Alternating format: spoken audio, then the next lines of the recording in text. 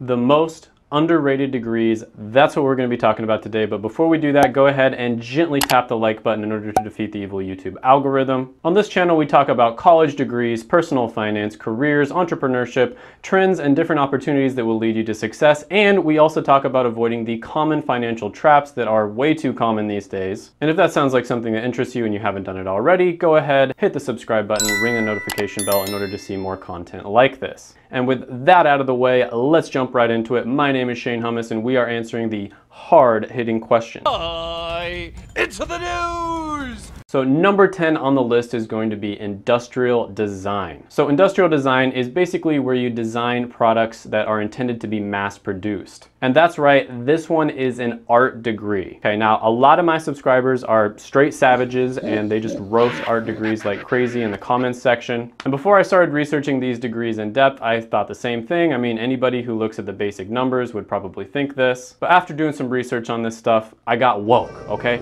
I got enlightened. There are a few art degrees out there that aren't that bad, and if you don't believe me, go ahead and look at these stats. Industrial design ranks 240 out of 835 possible degrees. You're gonna start off at $50,900 a year, and mid-career pay is gonna be 91,900. You guys know that I've really warned against these degrees, okay? I poked a lot of fun at art majors, and I'd just like to take this moment to apologize. Aww Because if I'm being honest, most art degrees are still pretty trash when you think about it from a personal finance perspective. And again, I say this in every video, if you want to be an artist, that's great. I've got a lot of respect for artists. Many of my friends are. That's amazing. In most cases, you would be better off not getting an art degree if you want to be a professional artist. If you want to be a professional artist, you got to get a little bit creative. You'd be much better off just starting a YouTube channel or a blog or something along those lines, maybe creating your own business. But industrial design is a pretty good one because it is an art related degree, but you're able to use your art skills in a practical way. Not only will it teach you to sketch products on just a piece of paper, but you're also gonna work with what's known as CAD, which is computer aided design. This will lead you to making products that are beautiful and ergonomic enough to please customers, but are also simple enough that they can be mass produced by a company. Just about every product that you have in your life was once a sketch on an industrial designer's canvas. It came from their imagination and then it was brought into reality, which is pretty cool. Now I kind of want to clarify one thing here. When I say the word underrated, I want to make sure that you know exactly what I mean by this. When I say the word underrated, I mean degrees that are actually either decent or maybe even in some cases they're good, but people might think that they're not good at all. These are degrees where if you have a really good plan going into it and you do all the right things, you can definitely turn it into a good career. Number nine on the list is going to be industrial psychology. That's right, I can see the comments now. People are gonna be like, clown, clown, clown. You said psychology is the most overrated degree on your other video, clown. Bum, you a clown. Okay, so sometimes I'm not as clear as I should be in some of my videos. For instance, I ranked like the most common science degrees one time, and then I also put, you know, the top 10 most common science degrees. One of the ones that was at the very top, I put as one of the worst science degrees. And what I meant by that is it's number 10 out of the common science degrees, like the ones that a lot of people graduate with. And people like roasted me in the comments, but you know what? It's whatever.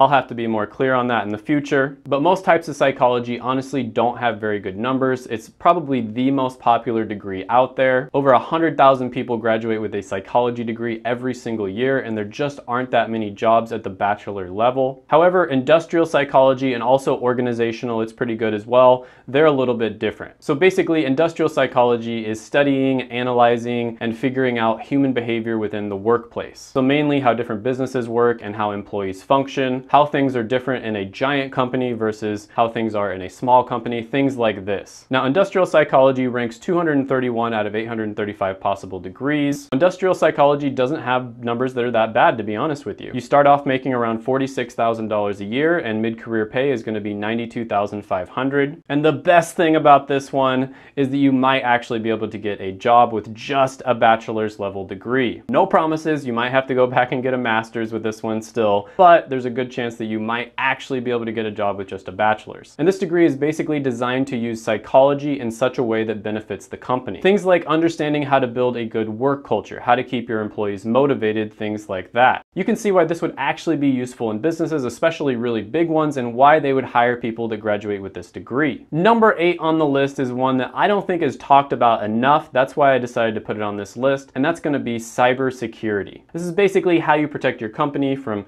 you know, different people, outsiders, hackers that are trying to get in and steal people's data, steal your software, steal some of your numbers, all those sorts of things. Now with this one, you're gonna start off making around $61,000 a year, and then mid-career pay is gonna be 93,000. So it ranks pretty well right now, and I think this one is going to rank even better in the future. Just look at the recent scandal where a Tesla employee was offered $1 million by a Russian citizen who was trying to install malware in one of the Tesla gigafactories. You can't even make this stuff up. It doesn't even seem like this guy had anything to gain. He just wanted to sabotage the company. Other attacks, of course, that happened recently where Equifax, for instance, was hacked hundreds of millions of people's data was leaked. Now, just a side tangent from my personal life, I know a guy who actually designs what's known as electronic health records, and he specifically kind of specializes in the security part of that. Now, if you work in the medical field, you know that HIPAA is a really big thing. HIPAA is basically just what they do in order to protect people's health information. And he told me that health information, if it's leaked on the black market, apparently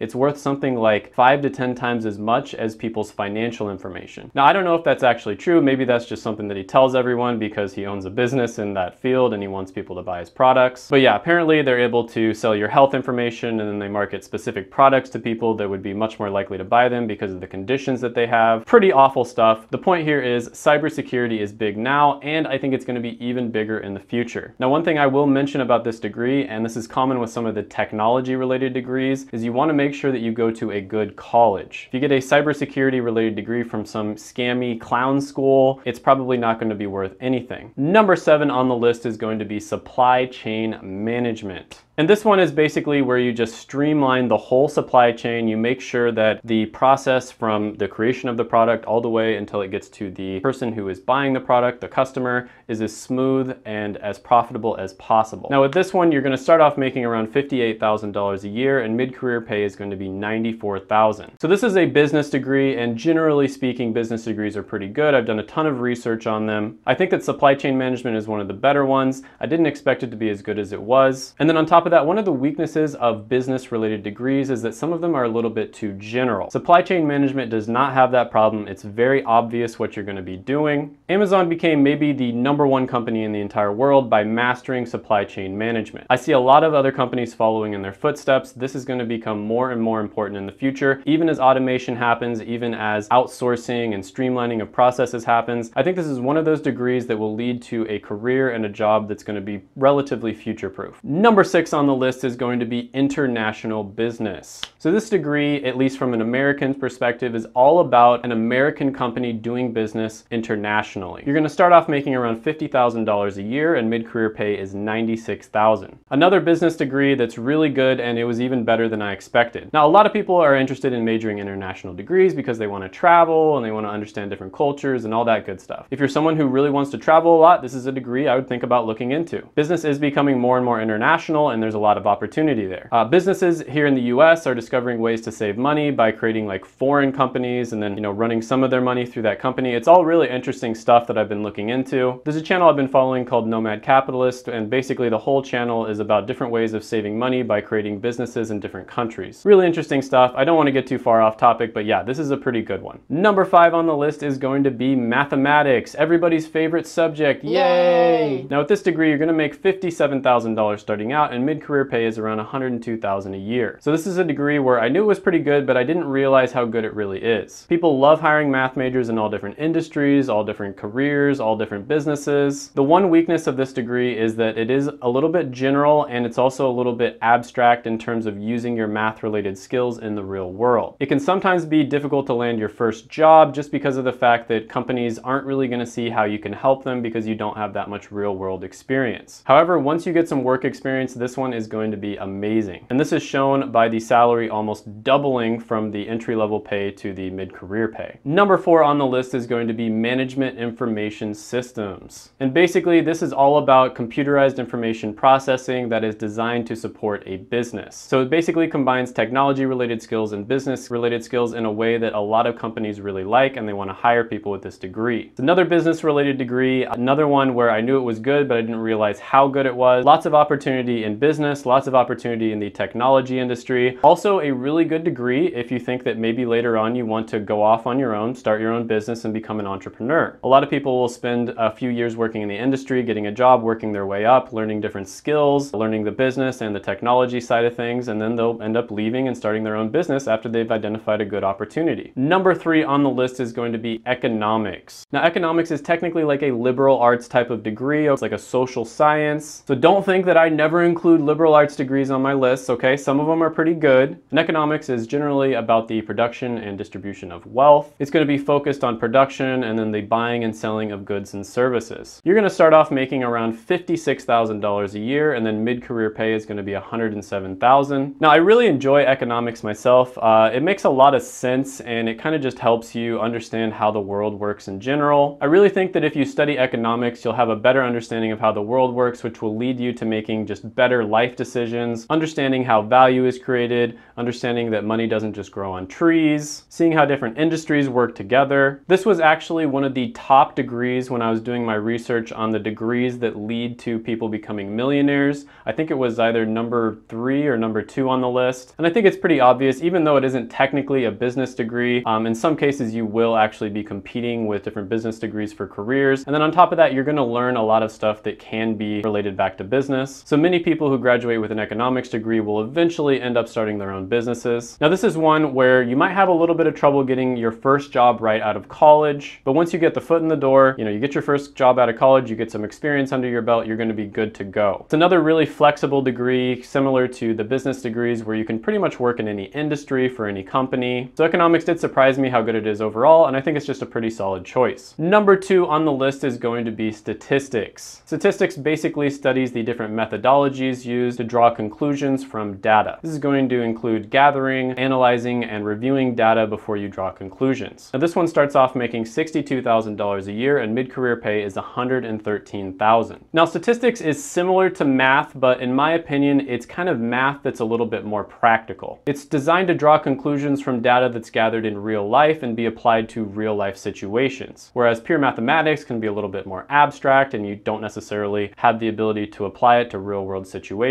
But yeah, statistics doesn't really have that issue as much. Um, very similar to math in other ways though. It's a really good one, uh, highly respected just like math, even if you don't end up becoming like a mathematician or a statistician, can't blah blah blah, statistician, can't even pronounce that word. Even if you don't end up becoming a statistician, you can still get a job doing any number of different things just because of the fact that this degree is highly respected overall. And then on top of that, math related skills in general are just kind of coveted a lot. Number one on the list is going to be physics. Now, I knew the physics was going to be a good one just because of the fact that, you know, really smart people tend to study physics. And physics is the science that tries to understand the laws of nature and the relationship between matter and energy, for instance. You're going to start off making around $60,000 a year and mid-career pay is going to be 113,000. Now, from what I've heard, this might actually be the hardest degree you can possibly get out there. It does have a little bit of competition from some of the engineering related degrees and some other random ones, but a lot of people tell me that physics is actually the hardest subject. Now, a big issue with this one is you usually can't become a physicist with just a bachelor's level degree. You've got to get at least a master's or a doctorate. But this is another one of those degrees similar to math and statistics where companies will just figure out a way to hire you because they know what they're getting when they hire someone who has a physics degree. They're getting someone who's very smart, very hardworking, and very motivated. It's similar to a math degree, but I think it's a little bit more practical just because it studies more real world concepts. So for instance, you might get a physics degree and end up working as a software developer. Your specialized training in math or physics is going to be a little bit different than someone who gets a computer science degree, and so you're going to be able to bring a different perspective into a company. One thing about this is it might be a little bit difficult for you to get your first job. You really got to plan ahead, even with a degree like this, make sure that you plan ahead, get your foot in the door, get your first job, get that two years of experience that everyone requires, and then you will be set. As always, make sure to smash the like button, hit the subscribe button, ring the notification bell, comment down below any thoughts, comments, criticisms, etc. And before you go, make sure to check out my other videos right here. I made them just for you.